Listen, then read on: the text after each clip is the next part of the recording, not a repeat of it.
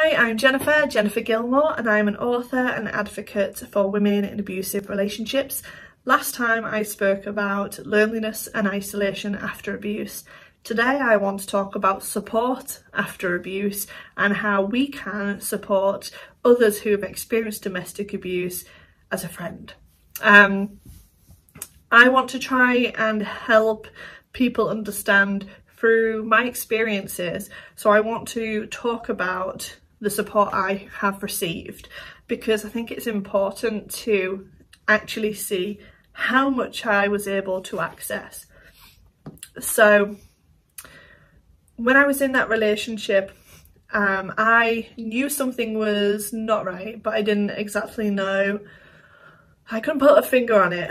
And I wanted to speak to a solicitor about just a query and but it was a query that could make a difference between staying in that relationship and leaving.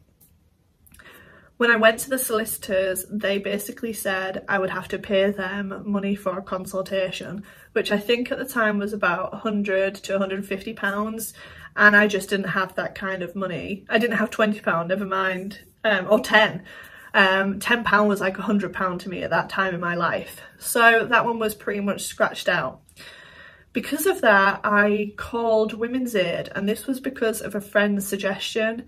And again, Women's Aid weren't able to give me a, an answer to a legal question, but they did point me to the direction of their website, and they have a checklist on their website for um, basically, are you experiencing domestic abuse?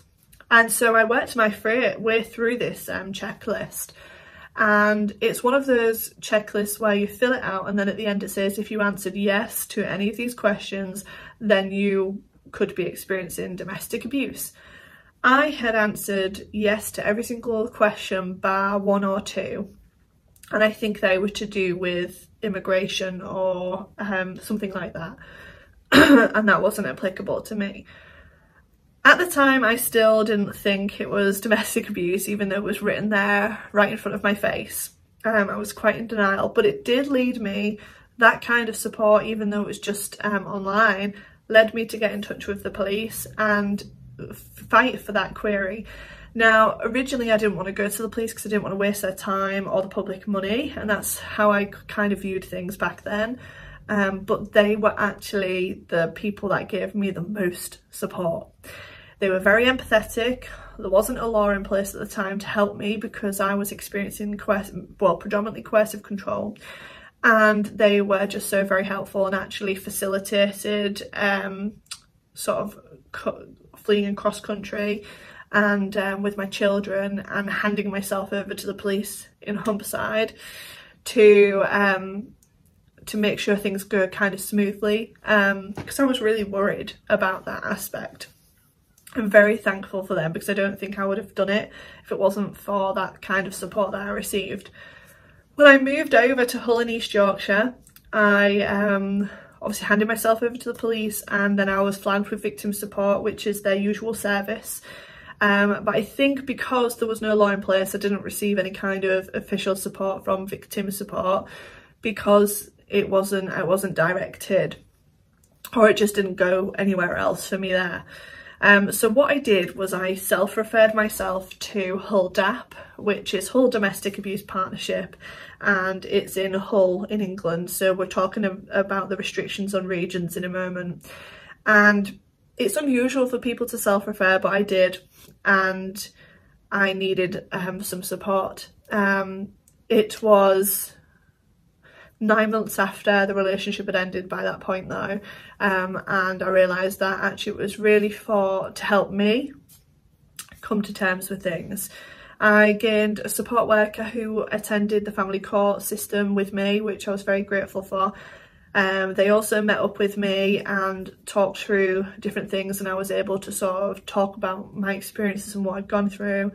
They can put me in touch with any relevant service so anything like um, if I was experiencing mental health problems, they could refer me and signpost me to different, you know, things basically. Um, without them, I would find it a big struggle. And I just want to mention that I was very lucky to access that service because I was classed as a medium risk in Hull. And Hull deal with medium and high risk cases, or at the time they did when I entered it.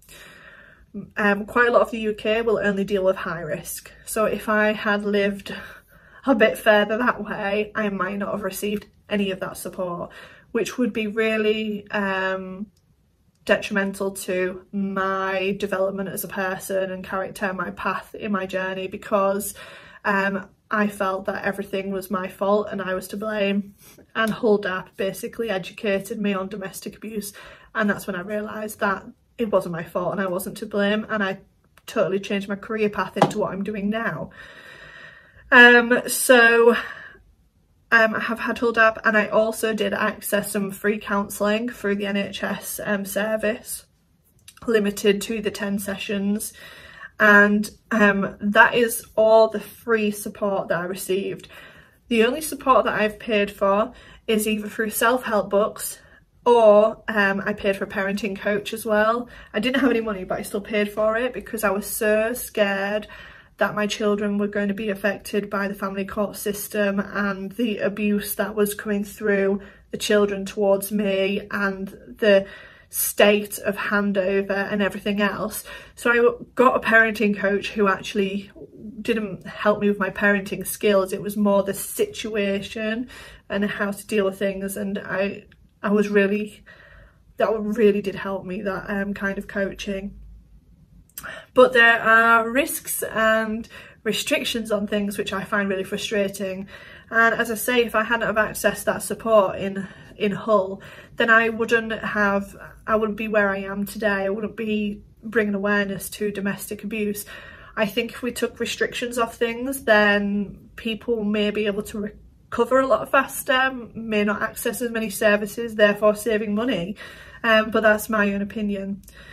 Um, so if anybody did need any information on their local services, then please do get in touch with me. Contact at jennifergilmour.com. Happy to help. I'm always directing people to different local support. And then if they're not able to access the support, if there is anything that can be done. So what can we do as a friend? Considering all that and considering the support you could get or not get, um, well, for me, when I came out of that relationship, I had held on to everything that had happened to me for several years. And so I basically wanted to be able to talk to those that I trusted. Um, and there weren't very many of those kind of people, but I needed to talk about it. I bottled it up for so long. So my first point is listen. My second boy point is be patient because I remember back then I was anxious and paranoid and depressed and I could not see the light to the end of the tunnel. Um, so it was quite like a vicious circle and I was very much not in a very good place and not very good company. But please do be patient. Three, give guidance and that guidance could just be helping the conversation it could mean that you're pushing just a little bit, you know, to point towards some support or help or um, speaking to somebody, but don't push too much. Don't keep coming back to that point. Try and support in a holding hand way. and then the, the last point I've got, number four, avoid using words like I understand and basically learn to try and understand. it's really difficult when somebody says, oh, I know what you mean or I understand, when actually, do you? Do you really understand? Have you gone through that? And that is a quite a big barrier. That's my talk on support, gone a bit on longer, but I hope it helps. And I'm just basically sharing what I have experienced so that I can educate other people on just what is out there and what isn't out there, all the restrictions that are put in place. So before I go, I just want to say thank you for listening and also together we are louder.